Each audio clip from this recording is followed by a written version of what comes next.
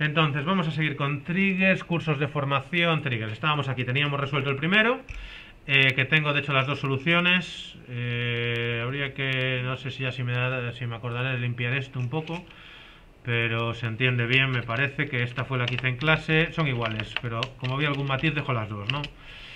Entonces aquí está aprobada la de clase y aquí está la que tenía con más documentación. Igual sería mejor verlo al revés. Esta es la que está comentada. Eh, bien, dos. Garantizar que un empleado no pueda ser... A ver, venga, voy a... Lo hago desde cero. Garantizar que un empleado no pueda ser al mismo tiempo alumno y profesor de la misma edición de un curso. Vale, vamos a repasar las cuestiones aquí de diseño. Entonces, estoy en formación, esquema, public... Vale, aquí lo tenemos. Entonces queremos... eh, esta es la... Ah, sí, bueno, y además voy a volver a abrir lo que... Vale, los ejercicios propuestos estábamos con el 11 y el 12. Entonces era esta solución y esta solución. Vale. Entonces ahora lo que quiero garantizar es básicamente lo más sencillo que es esta relación de exclusividad. ¿Vale? La relación de exclusividad que ya habíamos visto que era un problema eh, a nivel relacional. Entonces, ¿cómo garantizo que un, pro- un empleado que es el profesor, esta es la relación de ser profesor, no sea alumno? Si está aquí, no puede estar aquí. Entonces, esto es una tabla y esto es un campo de esta tabla, porque esto es una NM y esto es una 1N. Bien, nos venimos, eh, esto lo voy a cerrar ya, vale, y nos venimos aquí. Entonces, misma, eh, eh, aquí tengo profesor, aquí de la edición, y alumnos, donde está un ID empleado vinculado con una determinada edición. La cosa es, cuando yo inserto un profesor aquí o actualizo profesor, el ID que pongo aquí, el new.professor, no puede estar presente aquí para la misma edición. ¿Vale? Esa es una condición. Y la otra es que cuando yo pongo aquí a un empleado como alumno de una edición, en esa edición ese empleado no puede ser el profesor. ¿Vale? Vamos a empezar pues por la primera, en el orden que lo dije. Por ejemplo, entonces un trigger aquí cuando se actualiza o se inserta un profesor. Entonces me vengo aquí y puedo, voy a partir de algo de lo que tenía abajo, simplemente por tener una, por saberla, para ahorrarme la estructura. Vale, entonces copio una estructura de una función, vale, eh, esto va a ser, eh, vale, esto fuera y esto va a ser un empleado, vale, profesor, la voy a llamar profesor alumno, por ejemplo, prof, profesor alumno y la otra la, la llamaré alumno profesor. Entonces, profesor alumno devuelve un trigger, ¿vale? Perfecto. Y ese trigger lo voy a llamar igual, profesor alumno, va a ser sobre la tabla ediciones, en un update o un insert, correcto. Eh, before, porque si está repetido no quiero mostrarlo, aunque ya digo, quizás lo vamos a empezar a ver. Este ejemplo lo haré con, con excepciones y veremos que entonces da igual. Eh, para cada fila, efectivamente y eh, ejecutando un procedimiento, ejecuto ese procedimiento, que es este de aquí. Bien, tengo la estructura básica, entonces, ¿qué hago? Yo tengo que hacer las comprobaciones básicamente, decía, vuelvo a eh, aquí. Yo inserto o actualizo, profesor, entonces todo esto va a girar alrededor de new professor. Vale, voy a tener que usar esto, claramente. ¿Y qué tengo que hacer? Comprobar que New Professor no esté presente aquí entre los alumnos de, una, de la misma edición. Entonces voy a necesitar buscar los alumnos de esta edición. Para lo cual eh, voy a tener que hacer algún select from eh, alumnos where edición y de edición igual a la edición de la fila que estoy tocando. Entonces eso va a ser new.id edición. O sea, yo estoy insertando en esta tabla o actualizando, pero da igual, aunque actualice, me vale con new siempre. New edición va a ser la nueva fila que va a quedar después del update o del insert, pues tienen su nueva edición, su nuevo curso, su fecha, su profesor. O sea, la nueva la fila la referencio con new. ¿Se entiende? Entonces tengo new edición aunque haga un update y esa fila ya estuviera, yo actualizo profesor. New edición en ese caso sería igual que old edición, pero utilizo new por los insert, que ahí old sería null. Entonces, new edición siempre va a ser la edición del profesor que yo estoy asignando. Busco los alumnos de esa edición. ¿Cómo los busco? Pues podría revolver aquí, select eh, id alumno. id empleado, perdón. id empleado from edición cuando esto, por ejemplo. Y ahora tengo que comprobar si alguno de esos es new profesor. Eh, podría hacerlo, lo que pasa es que aquí, a ver, por, por, hacerlo sin pensar mucho, lo voy a hacer como lo estoy haciendo, que yo ya simplificaría cosas, pero... Eh, eh, a ver, hay una manera más sencilla, pero es que quería hacerlo así primero. Vamos a ver cómo sería esto. Aquí estoy devolviendo, el problema es que estoy devolviendo varios valores. Varios valores. Y entonces aquí puedo hacer... Lo hago una atacada y ya está. Eh, if new profesor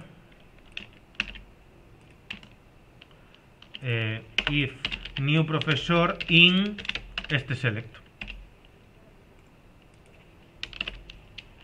Compruebo si el profesor está entre los empleados, los alumnos. Todo esto devuelve los alumnos. Compruebo si el profesor es uno de ellos. Si es uno de ellos, eh, que cerraría... De hecho, aquí no hace falta el paréntesis, esto es muy de Java. En ese caso, voy a hacer así, fin, then eh, le digo rey hago un notice o no voy a hacer una exception directamente. Eh, ya vimos con notice el otro día lo vamos a hacer ahora con bueno lo voy a hacer de las dos maneras. Hago el notice primero y luego lo cambio a exception y vemos. Rey, sí pero bueno es que quiero poner el return null si hago el notice a ver un exception y un notice no tiene mucho sentido yo creo sí sí podría podría pero es por otro motivo, ahora, ahora lo entenderás. Eh, eh, uf. Sí.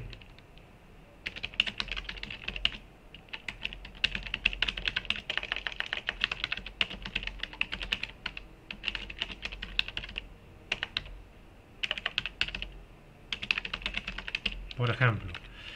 Vale, ya no me meto en más detalle y ahora hago un return null. ¿vale? De manera que no se lleve a cabo. Eh, else return true. Que no me haría falta el else de nuevo. Return, una cuestión de estilo, return eh, new, perdón. ¿Vale? Y end if. Vale, por ejemplo, eh, podemos probarlo así. Yo creo que con esto lo básico estaría. A ver, vamos a ver. Entonces creo esta función, tengo un problema acerca del if. Eh, no, esto es parte del if. If then. In paréntesis, paréntesis. No, el problema está en el... Ah, el declar... Coño, que esto, se... esto iría en el begin. me quedé aquí muy tranquilo yo y no estoy declarando nada. Esto no es un declare, esto es un begin. Vale. Ahí estamos. Creada. Creo, el trigger con ella. Y ahora me voy a ver directamente el desteo que tengo por aquí. Porque esto es un lío. Vamos a ver. Entonces, yo puedo hacer un... Puedo borrar todos los alumnos de primeras. Eh, actualizo ediciones y pongo el profesor... No, pero esto es... Aquí fui al revés. Aquí estoy actualizando primero la... Pongo profesor 2. Inserto 1.1. Actualizo alumnos... No, esto es, esta es para la otra. Esta es para cuando ya está el profesor. Entonces, 2B, estas son las pruebas que quiero. Lo estoy haciendo al revés de la otra solución que tengo. Vamos a ver. Compruebo los alumnos, ahora no hay ninguno. Inserto estos alumnos que no la cambié. Empleado... Ah, no, no, empleado titulado. Empleado titulado... No sé por qué inserté otro. Bueno, me lo voy a crear. Inserto en alumnos, que es empleado el 4... Ah, vale, pausar ese. Lo inserto como alumnos, el empleado 4 del título 1 y ahora actualizo ediciones y pongo el profesor 4 como profesor de esa edición y aquí debería saltar y me dice el empleado asignado como profesor efectivamente ya es alumno del curso, me falla vale, y si ahora aquí me vengo a un select Vamos a ver, tenemos en alumno tengo al empleado 4 en la edición 1. Si hago un select asterisco from ediciones, la edición 1 eh, que está aquí, sin embargo, está con profesor 1 igualmente. ¿Qué he hecho yo mal? Me ha salido esto y he hecho un return null y la tengo before. A ver. No sé si es que esto estaría habría quedado de antes o algo. Voy a hacer un... Eh, ediciones set profesor... Ah, Ah, no, pero es que está el profesor 1, vale, era tenía que haberse puesto a 4, o sea que sí, efectivamente no se ha ejecutado, el profesor 1 ya estaba de antes. ¿Se entiende? Eh, esto ya estaba profesor 1 por pruebas del otro día, supongo. Entonces, yo le puse que pusiera el profesor 4 y no me deja hacerlo me dice el empleado, eh, eh, ya es alumno, y entonces ediciones sigue a 1. Si ahora yo, por ejemplo, lo eliminase de alumnos, vuelvo a hacer un delete from alumnos, ¿vale? Me voy a cargar todo, voy a limpiar la tabla de alumnos, ¿vale? De manera que ahora no hay ningún alumno. Y ahora actualizo el profesor y le pongo el profesor 4. Edición no existente. Aquí el problema es otro, es el de ¿No tengo una edición 1? Ediciones. Entonces, y sí que es actualizado. Me saltó edición no existente, que esto es de un trigger previo. ¿Dónde tenía yo este mensaje? Ah, no, es de uno... Uh, edición no existente, ¿dónde estaba esto? Ya.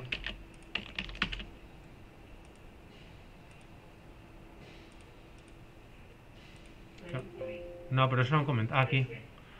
Vale, esto es donde estoy. En el 1 al principio de todo. Si new is null, then raise notice, edición no existente. Formación profesor. ¿Por qué hacía esto que ya no me acuerdo yo? if new is null. Ah, pero ah, aquí fue donde. Ah, vale, ya sé lo que pasó. Es, me olvidé de que esto fue donde nos quedamos el otro día que quedaba por arreglarlo. Que lo arreglé, que me di cuenta del error justo cuando nos fuimos de clase. ¿Os acordáis? Que de hecho no quedó en el vídeo, había que haberlo arreglado, sí. Vamos a ver, esto era porque habíamos hecho cambios y me quedó aquí el for statement. Y al no arreglarlo, nos me quedó aquí un problema que no sabía qué estaba pasando. Si ponemos aquí a for each row, sí, me había, había comentado que me lo recordáis, por ponerlo al principio me olvidé, no pasa nada. Entonces, si ponemos for each row y actualizamos todo esto, ya debería estar. Estábamos haciendo pruebas aquí, habían fallado de maneras extrañas. Elimino este, creo este, y ya no me acuerdo cuál era el que nos fallaba, la verdad. Eh, pero bueno, una edición no existente... ¿Eh, ¿Cuál? No, digo el otro día, ¿te acuerdas? Este. Era, pero creo que al final no estaban fallando todos y era porque había quedado así. Y ahora no me sale nada, este está bien. Actualiza ediciones, profesor tal, la edición existe. Punto. Este da un error de que... Ah, no, pero mira, aquí falla una cosa. Edición 1, le pongo profesor 2, ahí sin embargo ahora me dice eh, que no hay return. Llegó al final sin return. If not found, and if me falta un return final cuando todo va bien. Parece. Y sin embargo, ¿por qué antes falló? Habría que revisar. ¿Cómo? Que no entró en el trigger. Desde la fecha no entró en trigger porque no encuentra Ah, porque esta fecha no existía. Vale, no, me están fallando. Entonces me ha fallado el primero. El primero no, sin embargo. ¿Qué pasa? Profesor 100. Ah, vale, sí. Porque sí que me está saliendo. Este me da empleado no existe. Entonces ya no hay problema. El problema es el funcionamiento normal. Empleado sin información. Me dice el empleado no puede ser, vale.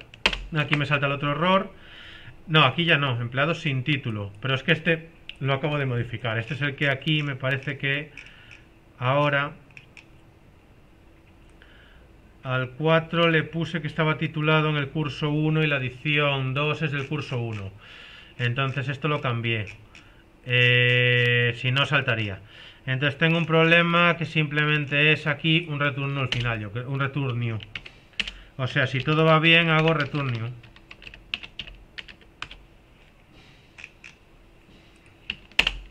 Vale. Y entonces ahora vuelvo aquí y este que debería ir bien, pues ya va bien. Eh, ya está. Vale. Entonces queda arreglado el primero, ya lo estaba. La liamos al hacer las pruebas con el... eh, for statement, ¿vale? Con for each row ya está. Y ahora vamos a volver a donde estábamos, porque ya no me repaso todo eso. Está ahí comentado, debería estar bien. Si alguien detecta algo raro, me dice. Y ahora me vuelvo al 2. Y estábamos probándolo eh, aquí, profesor 4. ¿Vale? Y todo va bien, el profesor 4 y de edición 1 ya no me da error. ¿Y qué ha pasado en ediciones? Que me ha puesto el profesor 4, efectivamente. Vemos la diferencia, ¿no? Antes no me lo ponía porque era alumno, ahora lo quité de alumnos. Como en alumnos no hay nada, sí que me lo deja poner. ¿Se entiende? Bien. Profesor 8, no me acuerdo por qué lo tengo aquí. El empleado no existe, ¿vale? Me comprueba que el empleado no existe. No hay un profesor 8.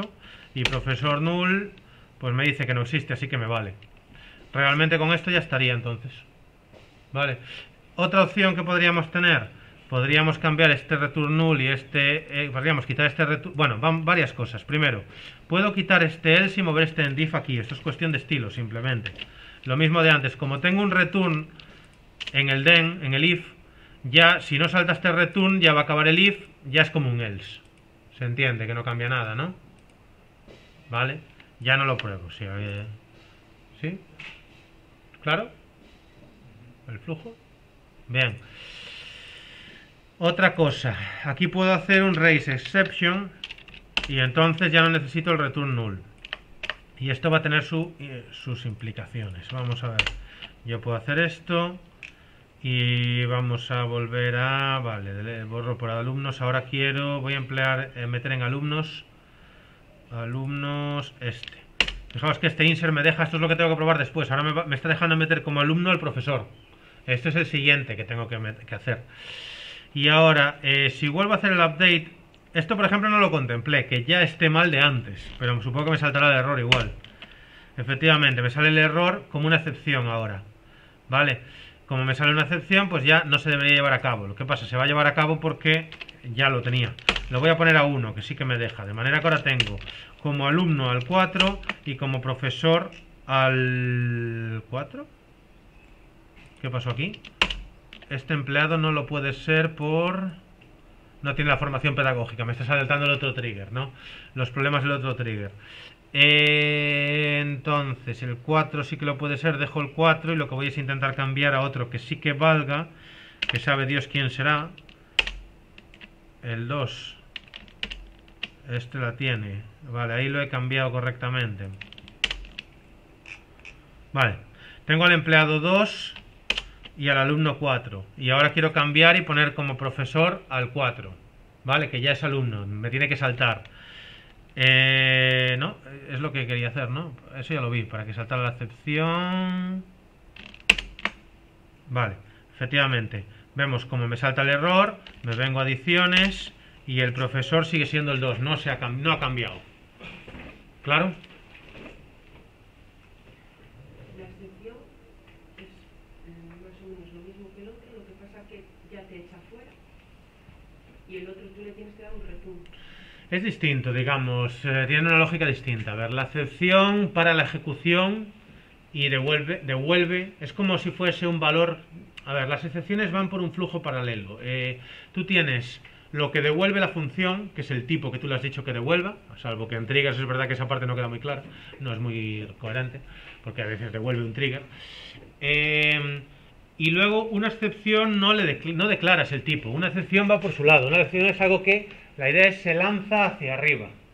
Entonces, hago un raise exception, la lanza hacia arriba. Esto es, separa la ejecución y en vez de devolver en vez de devolver lo que devuelve la función, devuelvo otra cosa, devuelvo una excepción, devuelvo un aviso de que ha habido un error. Vale, es un evento. Ha sucedido esto, por lo tanto, la, ejecución normal no se lleva a cabo. Te estoy mostrando un error. De manera lo que te decía, como tú no has dado programación y tal, igual, si quieres, se puede aprobar el examen haciéndolo estructurado, igual es mejor que no te metas en excepciones, porque yo creo que para ti igual va a ser un lío. Vale, no lo voy a exigir, lo podéis hacer con return null. Si me metes un note o un warning y un null es lo mismo. Pero raise ¿eh? No, no, no, bueno, siempre, claro, claro. Entonces, raise exception hace lo mismo, no es que haga lo mismo. A ver, vamos a entenderlo. Return null podría hacer que, eh, por ejemplo, y de hecho esto no sé si lo probamos, con varias filas cambia la cosa. Lo habíamos probado, quiero decir. Una excepción para la ejecución completamente.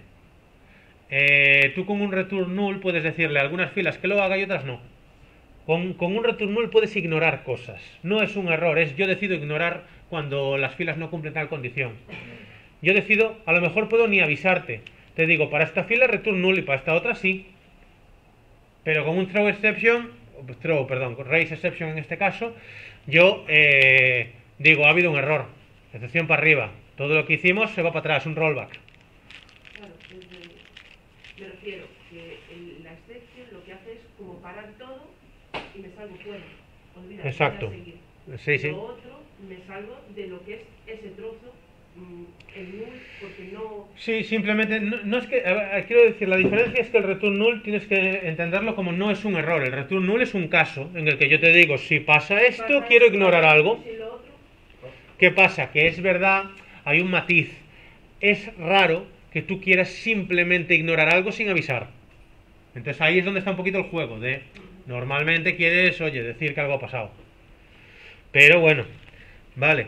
En este caso, el empleado que asignas, tú no quieres que simplemente, quiero decir, el, tienes más sentido una excepción por dos motivos. A ver, por un lado, el, el empleado, eh, tú asignas un profesor. Primero normalmente lo harás de uno en uno, pensándolo de uno en uno. Tú asignas un profesor, o aunque asignes varios, tú no quieres que los que estén correctos se asignen y los que no simplemente no se asignen y tú no te enteres de que no se han asignado. Tú quieres que te avisen. Lo mejor siempre es información. Entonces, aparte de la notificación, claro, ahí sí podrías hacer las notificaciones de uno por uno, ¿no? Este es asignado, este, el tal, no, este no, este sí, los 10 que sean, o los cuantos, cuantos sean, ¿no? Es una opción. Otra opción es eso, yo lanzo una lanzar una excepción tiene una ventaja, por ejemplo, esto es un debate, esto no lo habíamos visto, yo creo que en una clase lo vimos, ¿no? Lo de hago varias modificaciones para varias filas y la duda es, quiero que quiero que las filas correctas se ejecuten y las que no, no. Te avi- aviso, por ejemplo, solamente de esta, esta y esta no se han llevado a cabo o no hago ninguna. Por tener- es difícil, eh, depende del caso, ¿no? Pero yo soy partidario de... eh, mejor no hagas nada. Deja la responsabilidad en la persona. Le dices, no he llevado a cabo nada porque esta y esta. Que sea él el que diga, quito esta y esta y lo anoto en otro lado para después, ¿sabes? O que las corrija. Porque si no la persona después se puede hacer un lío, porque la persona copia y pega a lo mejor la instrucción, le ha quedado a medio hacer y no sabe qué ha pasado. Entonces mejor atomicidad de nuevo, lo de antes, o lo hago o no lo hago, para que la persona sea la que se encargue de ver si lo hace parcialmente o no. Pero esto depende del caso, esto es un protocolo que tú lo defines cuando programas. Bien. Eh, ¿Dónde estábamos entonces aquí? Esto parece que estaba funcionando. Vale, iba a comentar que con una excepción hay una particularidad también, ahora vimos cómo saltaba la excepción, de que en una excepción daría igual que lo tuviese after. Vale, puedo hacer, puedo eliminar el trigger. Bueno, para eso más fácil hago esto. Como está en cascada ya va a eliminar el trigger. Creo la función y creo de nuevo el trigger. Vale. Eh, y ahora me vuelvo a lo de antes. Sería esta, ¿no? No, eh, ya no me acuerdo. Tengo de alumno a quién? Al 4. En la adición tengo el profesor 2 y le quiero poner al profesor 4. Salta la excepción. Fijaos, salta la excepción y efectivamente no se ha llevado a cabo pese a ser after. ¿Ok? Entonces con una excepción da igual. Si en el momento en que salta una excepción, sea en after o sea eh, before, no se lleva a cabo. Porque no acaba el trigger y vuelve para atrás, hace un rollback. ¿Vale? Bien. Claro este caso entonces. Pasamos al siguiente. Bien. A ver, venga, los siguientes ya los... Este me lo... Bueno, voy a compararlo con el que tengo, con el 2B, con la solución, por si vemos alguna diferencia. Ah, vale, la otra va- variante que quería hacer, sí. De nuevo, yo aquí las hice todas con el perform, porque realmente este sí que lo voy a modificar. Estábamos con esto, ¿vale? Hemos visto que funciona de distintas maneras. ¿Qué hacía yo aquí? New profesor, comprobaba si estaba entre los empleados. A ver, lo hice así deliberadamente porque es la solución que suelen hacer los alumnos y os suele resultar más fácil así. Pero realmente, fijaos, aquí estoy haciendo un select que devuelve varias filas para luego hacer un in. Cuando todo esto yo lo puedo simplificar en esto. Yo puedo hacer, puedo buscar directamente la fila de esa adición y, claro, y de eh, y profesor. Claro, realmente es mejor hacerlo así. Vale, entonces así ya solo devuelvo un... Puedo, puedo buscar un, puedo comprobar si existe o no existe y usar- un if not found. De nuevo, voy a tener el problema de que como no lo meto en ningún lado, en vez de select tengo que hacer perform, ¿vale? Y eh, esto, raise exception, entonces perform, y aquí esto sería un, todo esto pasaría a ser un if not found. Eh, no, perdón, if found en este caso. ¿Vale? Si lo encuentra, excepción. Y si no, pues todo bien. ¿Se entiende? Más sencillo. Pero ya que tenía la otra, la voy a dejar para dejar las dos, ¿vale? Y Porque esta ya es la que tengo abajo comentada. Uy, quieto, bien. Ent- entonces, vale. Creo que el trigger es igual, así que voy a copiar solo esto. Me voy a 2B. Tenemos esta función y tenemos esta como alternativa. Mm, Vale. em, vale, dejo las dos así y ya está. Vale, em, voy a eliminar esto y vamos a comentar las que quedan entonces. La... Vale, 2A. La otra, evitar añadir como, como alumno al profesor. Habíamos evitado añadir como profesor al alumno. Ahora, ¿cómo sería como alumno al profesor? Entonces, ahora el trigger es sobre la tabla alumnos. ¿Vale? Y de nuevo, lo mismo, insert o update en alumnos. Aquí decía que podríamos dejar fuera el update si asumimos que no se va a actualizar la clave primaria o lo, lo evitamos explícitamente con otro trigger. Podríamos crear un trigger que evitase updates. Eh, que fuese on update, return siempre, return exception siempre, por ejemplo. Si hacemos eso, podríamos tenerlo solo para insert. De hecho, incluso lo podríamos hacer aquí. Habíamos visto, ahora no me acuerdo, ¿no? Cómo comprobar si se ha llegado por un insert o un update. Podríamos hacer if eh, la variable esta tp, no me acuerdo cómo se llamaba, igual update, pues return exception, porque no se puede hacer un update. Tiene un cierto sentido mm, si comprobamos el update de la clave primaria, ¿vale? Si alguien lo quiere hacer, sería una ampliación razonable de este ejercicio para pulirlo. Si alguien lo hace, que me lo mande. Ahora no me paro con eso. Vamos a ver lo importante. Eh, bien, entonces, ¿qué hago aquí? Pues lo mismo, hago un busco la fila donde la adición es la adición, de la tabla de adiciones, donde la adición es la adición y el profesor es el, em- es el alumno que acabo de meter. Es lo mismo al revés. Si la encuentro, lanzo una excepción. Aquí la lanzo con más detalle, además diciendo el alumno con id tal ya eh, pues es ya es el profesor de la, de la, de la adición. ¿Vale? Eh, podría mejorar el mensaje, la verdad, pero bueno. Claro, es la misma historia. Vale, eh, 2B está, vamos al 3. Aquí creé uno que era lanzar un warning cuando el empleado que se matricula para ser alumno del curso ya está titulado. ¿Entendemos la lógica de esto? O sea, puedes titular tres veces de lo mismo. Sí, bueno, a ver, puede tener sentido. ¿Por qué digo un warning y no una excepción? Porque a lo mejor la persona pues quiere refrescar memoria, pero la legislación lo que le pide es que tenga el título. Entonces, si tiene el título, pues solamente que me avise de un warning, pero sí que me deja matricularlo. He tomado esa decisión, ¿vale? Podría ser otra. Misma historia. Yo, si os fijáis, usé siempre lo del Perform 1. Bueno, esto es porque me gusta a mí el estilo y por lo que busqué ahí parece lo más razonable. ¿Recordamos qué ventajas tiene esto frente a hacerlo de otras maneras? Básicamente tienes que intentar minimizar siempre la información que transmite. O sea, tienes que transmitir la menos información posible para tu objetivo. Yo solo quiero saber si la fila existe o no existe. Entonces lo mejor es que busque la fila concreta que quiero. ¿Devuelvo 1 o devuelvo 0? Lo otro que hacía antes, recordamos, cogía un montón de, celdas, devolvía un montón de valores y miraba si, si estaban dentro de... Bueno, no los devolvía por red, lo hacía de todas maneras. Pero el algoritmo este es más sencillo. Entonces, ¿qué hago aquí? Busco en empleado titulado el empleado nuevo que estoy metiendo. Aquí estoy, esto es una, va a ser un trigger, warnings, en la tabla alumnos. O sea, esto va a saltar cuando inserte o actualice alumnos. Yo, eh, actual, y de nuevo, lo del update podríamos decir que no pintase nada. Vamos a pensar en que inserto. Inserto un nuevo empleado.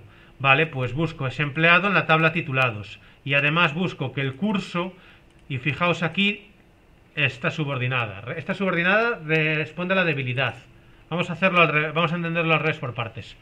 Yo busco el curso, yo, perdón, busco la clave del curso en la tabla adiciones, donde la adición es la nueva adición que meto. ¿Por qué? Vamos a ver.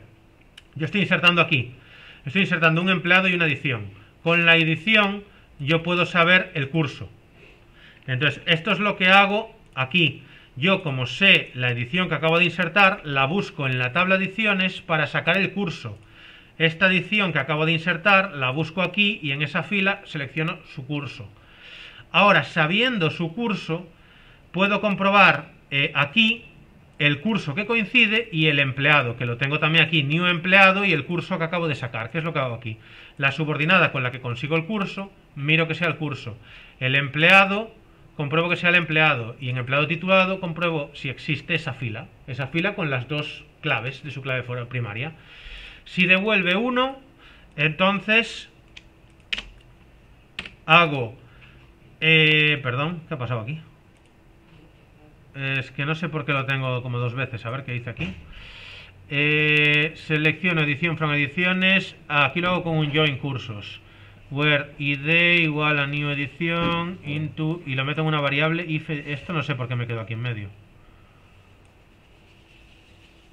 Esto debió ser mm, pues no lo sé ahora. Into edición, es que ni siquiera tengo un into edición. Esto se me debió colar aquí, me debió olvidar de borrarlo algo. Vamos a probar esto. Entonces, con esto sería, si la encuentro, este alumno ya está titulado. Y lanzo el warning y ya está.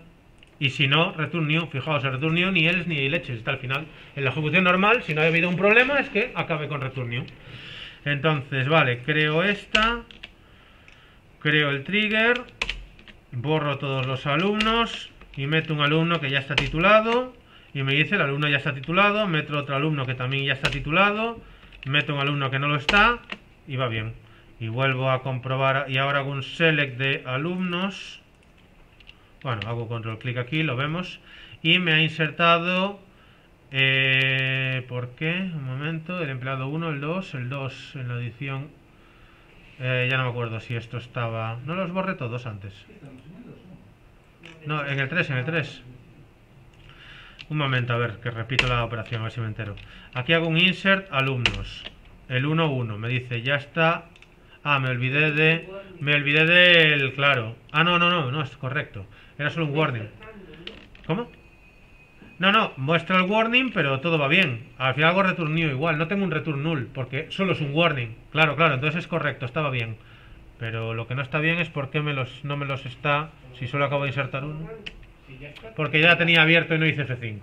Simplemente lo estábamos viendo sin actualizar. Ahí está correcto, ¿vale? Me muestra un warning, pero sí que los, los inserta igual. Inserta este, inserta este. Si me vengo ahora aquí y hago F5, que es lo que... Vale, ahí los tengo. Están todos, pero en los que fallaba, pues me lo mostró. ¿Vale? Eh, estaría el 3, bueno, el 4 lo tenéis comentado, si hubiese alguna duda estos días me lo podéis decir. Además el 4 lo está de dos maneras, una más declarativa y una más, más procedimental. Está bastante detallado. Y además añadí un quinto, que no me acuerdo. Impide matricular... Ah, vale. Impedir... Es que este está vinculado a los anteriores. Esto es para impedir directamente un insert a apto. Tiene sentido también. ¿Vale? Bueno. Cualquier duda sobre estos ejercicios podéis ponerla en el foro, preferiblemente.